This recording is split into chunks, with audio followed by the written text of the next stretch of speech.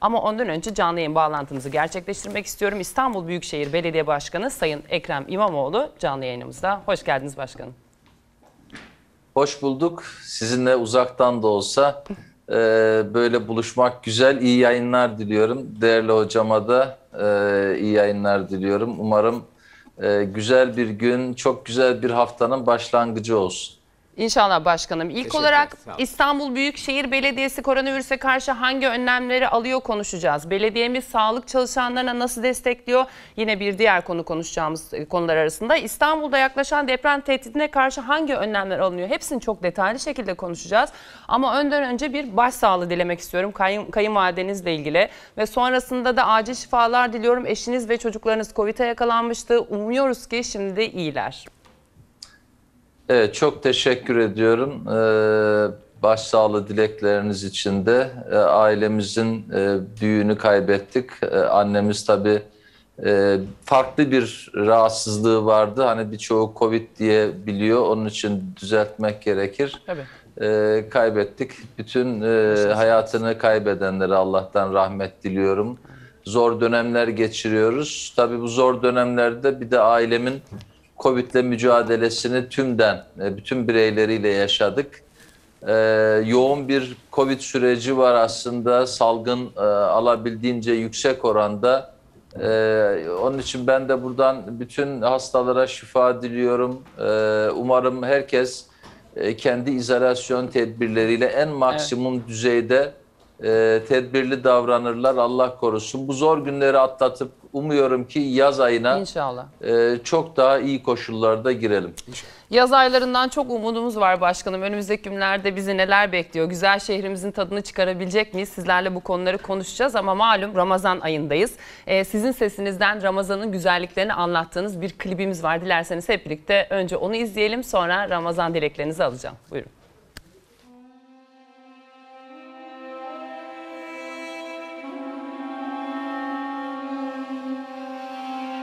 Bu şehir şehri İstanbul. Bu şehre günler gelir, aylar gelir, yıllar gelir. Her gün binler gelir. Misafirler gelir, dostlar gelir.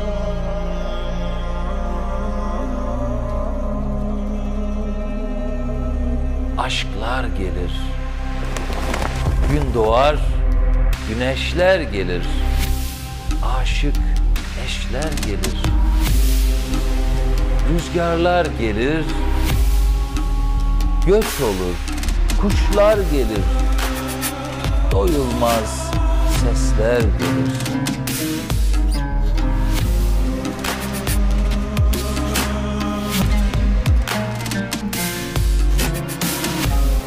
Yılda bir ay sen gelirsin. Gönüllere aşklar gelir. Hoş geldin Ramazan. Sefalar getirdin. Bu güzel klip için e, teşekkür ediyoruz. Sesinize, emeğinize sağlık ve tabii ki öncelikle Ramazan mesajınızı almak istiyoruz başkanım. E tabi Ramazan ayının e, hepimizin e, çok değerli bulduğu, maneviyatı yüksek ve benim için çok özel duygular barındıran bir ay. Hep şöyle tarif etmeye çalışıyorum. Ramazan ayı paylaşma ayı, e, Ramazan ayı hissetme ayı. Evet. E, hissedersiniz e, ve paylaşırsınız. E, aynı zamanda Ramazan ayı her yönüyle aslında bir arınma ayı. Bu e, tabii her insanoğlunun hata yapma şansı yüksek, yapabilir. Ama esas olan hatalarının, eksiklerinin farkına varabilme, daha derin düşünebilmek ve bunun e, üzerinden bazı tedbirler alabilmek. Ve günün sonunda ben Ramazan'a başka bir duyguyla daha bakıyorum. O da gerçekten bir aydınlanma ayı. Bu fırsatı iyi kullanan her inanan insanın e, gerçekten bir aydınlanmasına vesile olacağını da düşündüğüm bir ay. Onun için doya doya Ramazan ayının yaşanması, elbette Ramazan ayının gerekleri var, hissetmenin gerekleri var. Evet. Ee, çevremizde hiçbir insanın bir eksiğinin kalmamasını sağlama konusunda her bireyin var olan bireylerin sorumlulukları var. Ee, bizim gibi kurumların da sorumlulukları var. O bakımdan biz Ramazan ayını bu anlamda maksimum düzeyde değerlendirme çabası içerisindeyiz. Ee, İstanbul e, ne yazık ki hem ekonomik zorluklar hem üzerine pandeminin getirdiği e, ekonomik zorluklarla zor günler yaşayan ne yazık ki yüz binlerce aileyle dolu. Evet. E, bu noktada hem Büyükşehir Belediyesi olarak ihtiyacı olan insanlarımıza erişmeyi yoğun bir biçimde sağlamaya çalışıyoruz. Hem de yardım etmek isteyenlerle ihtiyacı olan insanları veren elin alan eli görmediği bir anlayışla buluşturmaya çalışıyoruz. Bu manada e, hem bir güvenilir vatandaşımızın güvendiği bir kurumu olmaya hem de bütçesinin yoğun bir bölümünü bu zor günlerin aşılması konusunda vatandaşına destek olmaya ayırıyoruz. E, bu yönüyle e, bilelim ki İstanbul e, keşke bu günleri daha refahı yüksek bir şekilde karşılasaydı ve geçirseydi ama e, ne acı ki e, İstanbul birçok sektörüyle yoğun etkilenmiş durumda. E, ekonominin de etkisi çok yüksek. E, özellikle günübirlik hayatını kazanan yüz binlerce insanın var olduğu bir kentteyiz. Sanatçısından tiyatrocusuna, sokaktaki satıcısından günübirlik hizmet ederek ekmeğini kazanıp e, yevmiyesini alıp evine götüren insanına kadar Evet. yüz binlerce insan ve aile bu süreçten etkilendi. Belki de bunun en manevi, en vicdanlı, simgesel, e, belki de dünyaya örnek hatta uluslararası birçok ödül kazanmış olan askıda fatura uygulamamızın da yine bu Ramazan'da da yoğun bir biçimde faydasını görüyoruz.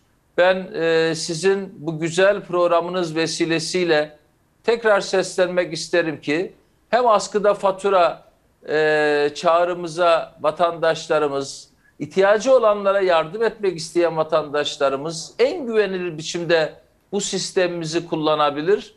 Hem de bizim çağrı merkezlerimizi arayarak e, aynı ya da farklı destek biçimleriyle Büyükşehir Belediyesi üzerinden e, yoksulluğu derin yaşayan ailelerimize, vatandaşlarımıza, çocuklarımıza erişme konusunda bize sonsuz güvenebilirler. Bu manada en özgün, en e, her türlü inancımıza uygun e, çalışmalarımızı sürdürüyoruz. Bir kez daha buradan duyurmuş olduk başkanım. Ee, Ramazan ayında şu anda ne gibi hizmetleriniz var? İftar çadırlarının kurulamadığını da biliyoruz.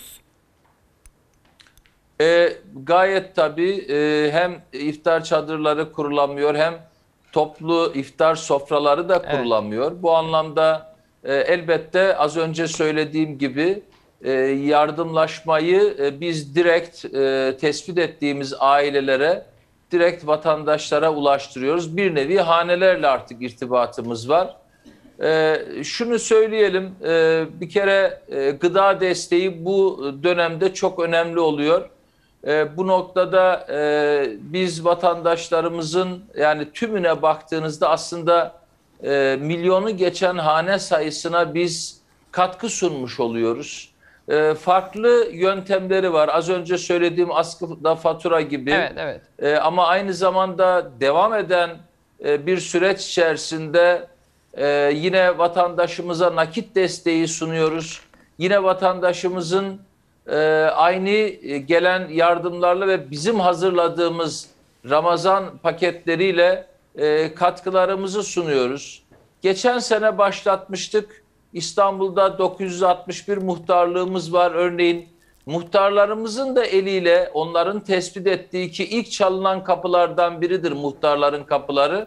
Onların da eliyle gıda desteğini e, sürdürüyoruz. Ama buna et- ekli olarak e, aslında şunu da söyleyebilirim.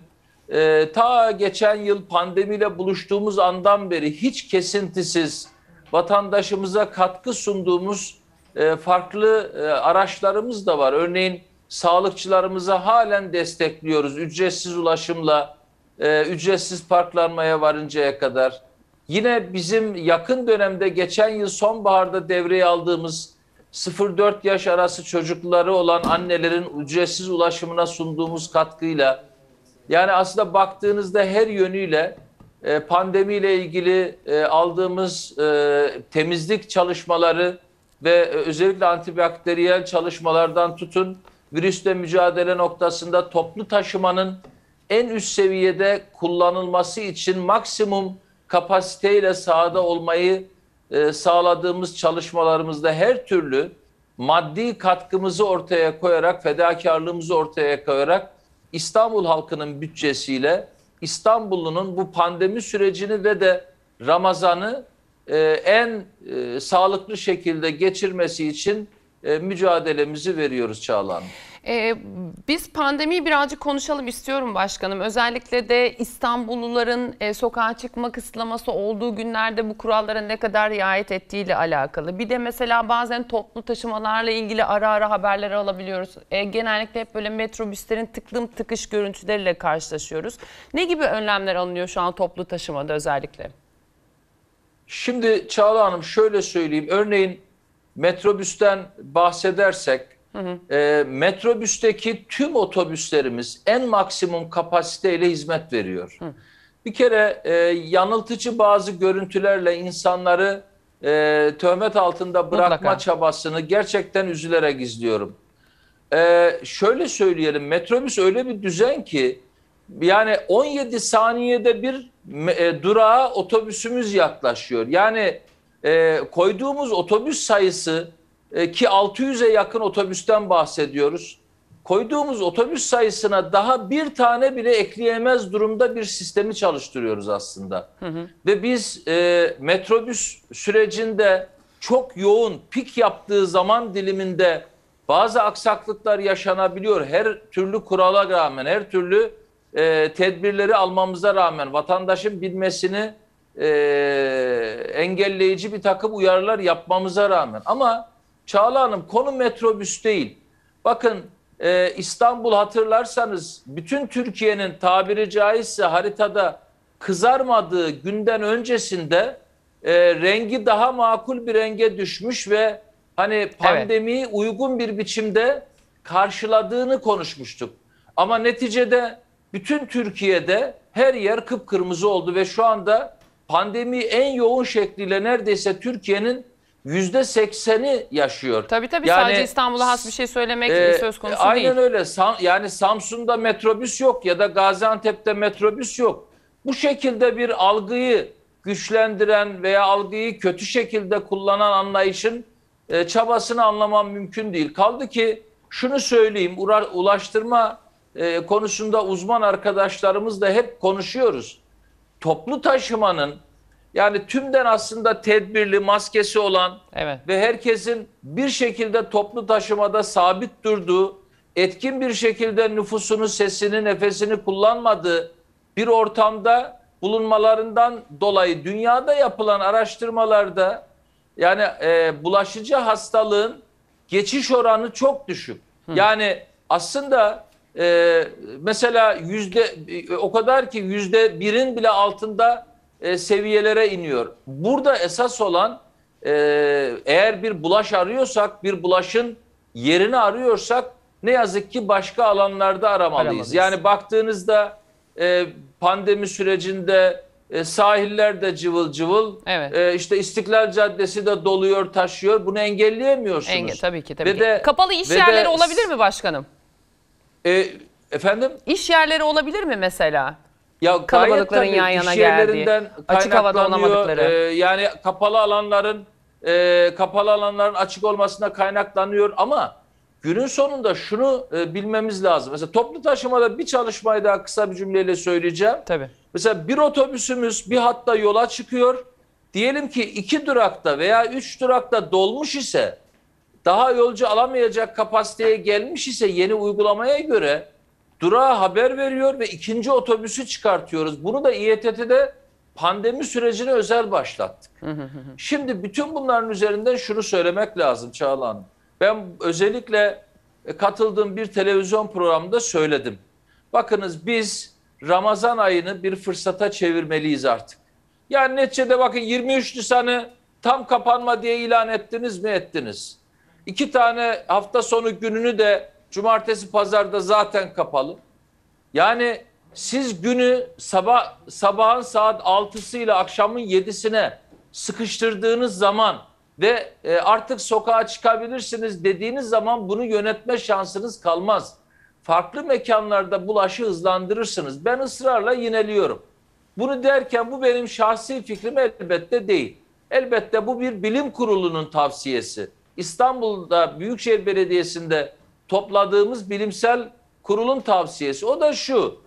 Diyor ki mutlaka tam kapanmaya ihtiyacı var. Biz bu e, pandemi sürecinin bu yoğun artışın dünyada ne yazık ki en üst seviyeye çıktığımız e, pandemideki vaka sayısına baktığımızda ve vefat sayısına baktığımızda bu yoğunluğu yaşadığımız günlerde lütfen Ramazan ayını ve Ramazan bayramını içine alan bir tam kapanma yapar isek hem turizm için hem ülkenin farklı sektörlerinin daha iyi bir sürece e, başlangıç yapabilmesi için bu zaman dilimini tam kapanmayla geçirirsek e, ve aynı zamanda yoğun bir aşılamayı da yönetebilirsek gerçekten yazı iyi karşılar ve kaybettiğimiz geçen yıl gibi kaybettiğimiz günleri bu yıl kaybetmeyiz.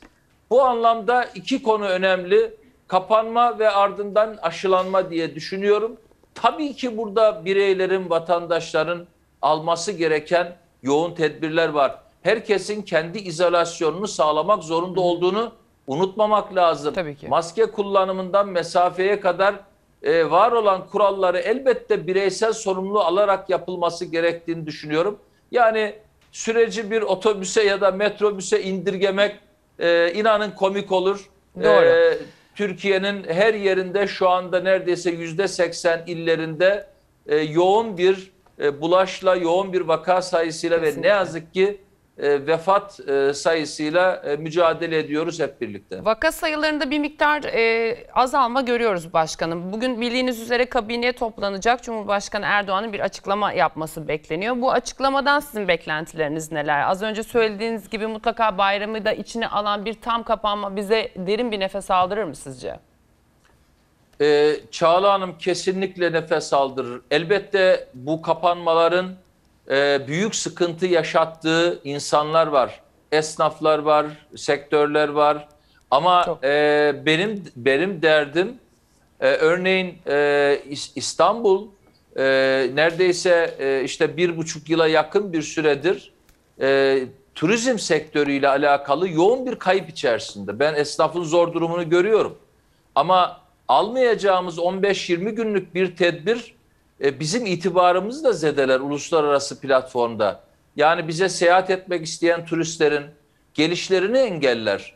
O bakımdan e, vaka sayılarının biraz azalması ya da bakın kaç hafta oldu kısmi kapanma neredeyse 3 haftasına girdi. 3 haftadaki bir düşmeyi, küçük bir düşmeyi başarı kabul edemeyiz.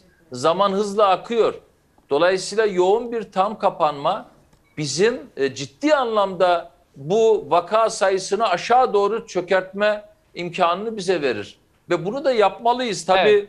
tekrar ifade edeyim bu tahminleri yapanlar e, hekimlerimiz yani ben değilim. Bana bunu sunan e, farklı disiplinlerdeki hekimlerimizin, virüsle ilgili uzman hekimlerimizin ya da e, birey aile hekimleri, uzmanları ve bunların e, yanı sıra diğer uzmanların sunduğu raporlar üzerinden e, bunu söylüyorum. Benim beklentim tam kapanma ve de yoğun bir biçimde e, aşılamayla Aşılanma. beraber e, toplumun bağışıklık sistemini e, güçlendirme. Bu şekilde eğer ilerlenirse güzel İstanbul'umuza biz de özgürce ne zaman kavuşacağız acaba diye sormak istiyorum başkanım.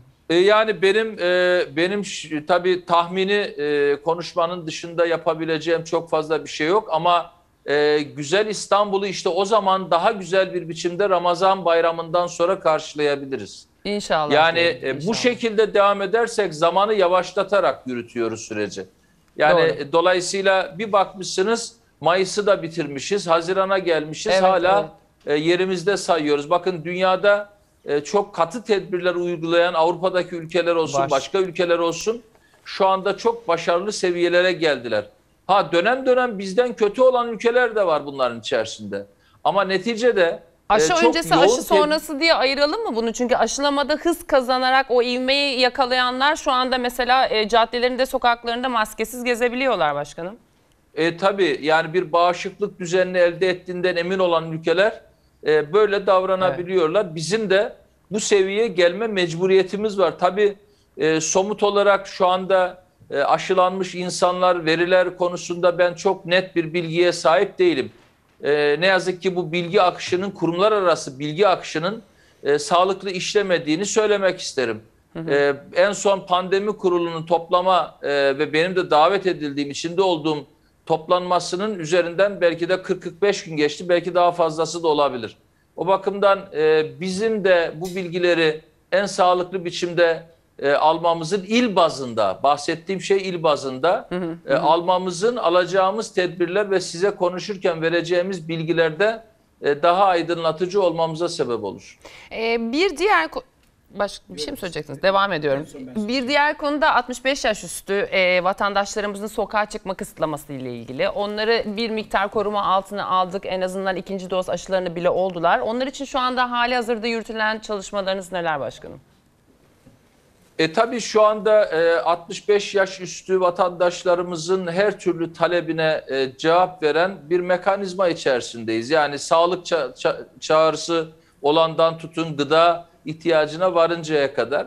İstanbul'un bütün kamu kurumları bu anlamda özellikle e, Büyükşehir Belediye'mizin yanı sıra ilçe belediyeleri olsun, e, diğer kuruluşlar olsun çaba içerisinde. Ama esas olan şunu da ifade edelim. Tabii ki 65 yaş üstü e, vatandaşlarımız en riskli grup diye tanımlandı ve gerçekten daha önceki süreçlerde vefat oranlarına baktığınızda da en ciddi kayıplarımız ki bizim mezarlıklar e, daire başkanlığımızdaki veriler üzerinden de bunu söylüyorum. En ciddi kayıplarımız ne yazık ki o yaş e, grubunda yaşandı.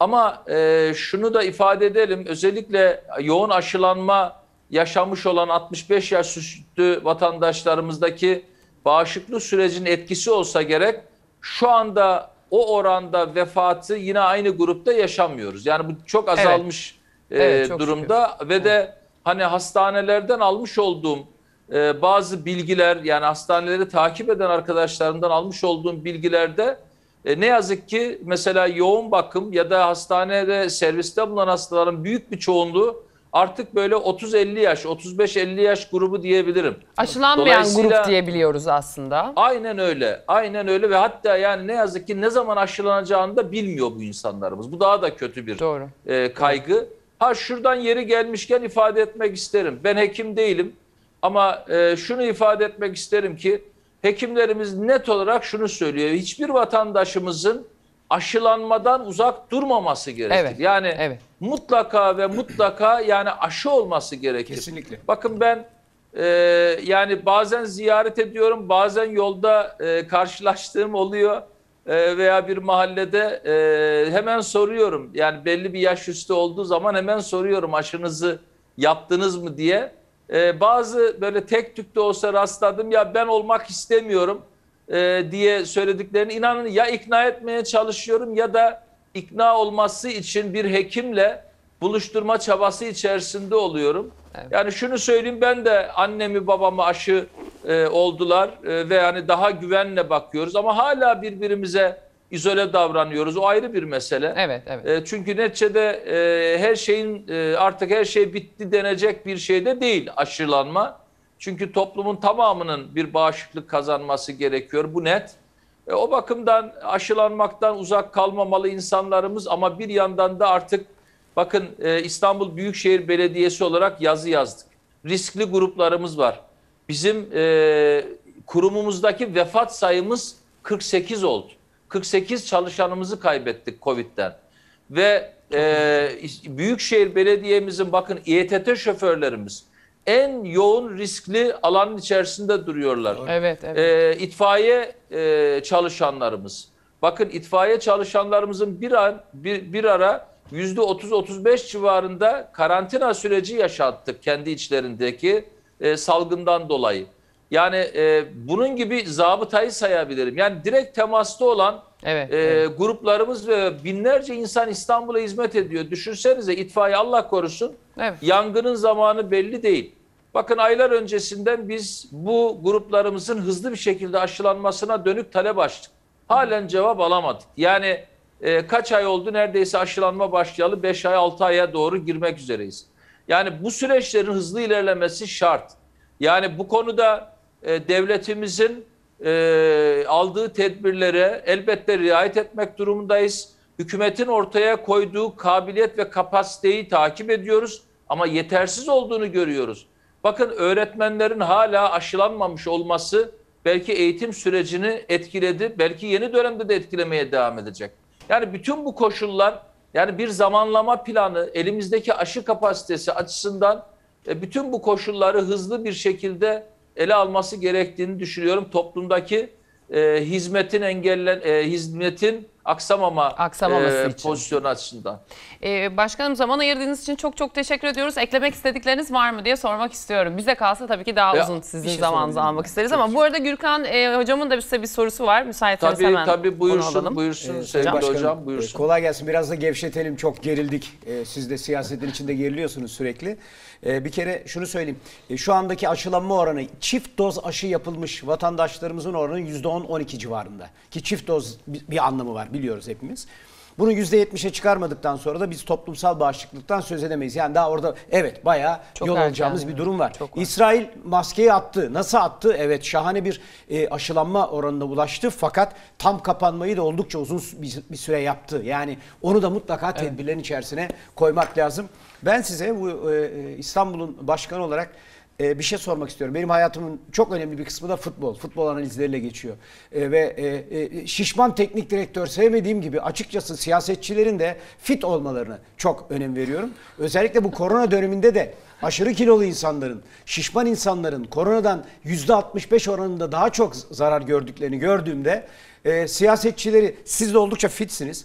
Siyasetçilere, e, siyasetçileri temsilen de size ne yapıyorsunuz Allah aşkına fit kalabilmek için beslenme ya da şey. Bir de buradan bir mesaj verelim de böyle kapatalım diye düşünüyorum. Güzel bir sağlık mesajıyla kapatalım. Başkanım Evet, buyurun. evet. Çok teşekkür ederim hocam. Sporla ilgili yorumlarınızı da yıllardır keyifle izliyorum. Demek ki bazen hekim gözüyle her alana bakmak lazım. Sağ. Mesela spor dediniz 29 Mayıs'ta İstanbul'da Şampiyonlar Ligi finali var. Doğru. Aslında hala seyircili mi olacak, seyircisi mi olacak tartışma e, halinde. Herhalde seyircili E, olacak Çünkü başkanım. ülkenin pozisyonu da bunu etkiliyor. E, ve hani bu süreci de takip ediyoruz. Açıkçası yemeğime elbette dikkat ediyorum. Yani bir e, bir diyet listem var. E, ben ama yıllardır e, yani yıllardır e, diyet demeyelim bir disiplin diyelim artık Evet, adına. doğru. Sağlıklı E, beslenme yıllardır diyelim. iki, iki öğün yiyorum hocam. İki öğünlü bir yaşamım var. Sabah kaçta çıkarsam çıkayım mutlak kahvaltımı yapıyorum. Saatini de- değiştirebiliyorum. Bazen bu 6 oluyor, 7 oluyor, 8 oluyor. Kahvaltımı yapıyorum. E, sonra da akşam yemeğimi açıkçası maksimum 5-6 aralığında bitiriyorum. Tabii arada aldığım küçük atıştırmalık öğünlerim olabiliyor. E, bunlar masum. Bu bazen e, böyle tümden terbiyeli değil de hani böyle tümden sade sebze çorbası tercihim Gibi. oluyor. E, ya da e, yanına bazen işte badem gibi taze badem gibi e, kattığım e, bir takım bir avuç diyebileceğim şeyler oluyor ama Sağlıktaki son e, gelişmeleri takip ettiğiniz belli başkanım. e, Bizi de ediyorum izlediğinizi ama düşünmekteyim. yani e, kendimi iyi hissettiğim kendimi iyi hissettiğim süreçlerde e, açıkçası bu şekilde beslendiğim süreçler. Ama şunu ifade edeyim hocam. e, Ramazan ayı bana iyi geliyor. Ramazan ayında genelde hani o az önce dedim ya bir arınma ayı diye Evet, sanki vücut da arınıyor. Kesinlikle. Bana iyi geliyor. Kesinlikle. E, o bakımdan e, bu dönemde e, özellikle Ramazan ayında göreceksiniz bayrama çok daha fit gireceğim. Onun bir faydasını da görüyorum. Peki hepimize e, şifa olsun, iyi gelsin, güzellikler getirsin Sağlık inşallah olsun. diyorum tekrar başkanım. Çok çok teşekkür ediyoruz zaman ayırdığınız için. Teşekkürler. Ben teşekkür ediyorum. İyi yayınlar. Güzel bir hafta olsun. Çok İnşallah teşekkürler. sağlıkla, sıhhatle, bereketle dolu bir Ramazan ayı olsun. İnşallah. Şimdiden güzel bir bayramı karşılamayı diliyorum bütün vatandaşlarıma. İnşallah. Çok çok teşekkür ediyoruz. Sağ olun. Daha fazla video izlemek için kanalımıza abone olabilir.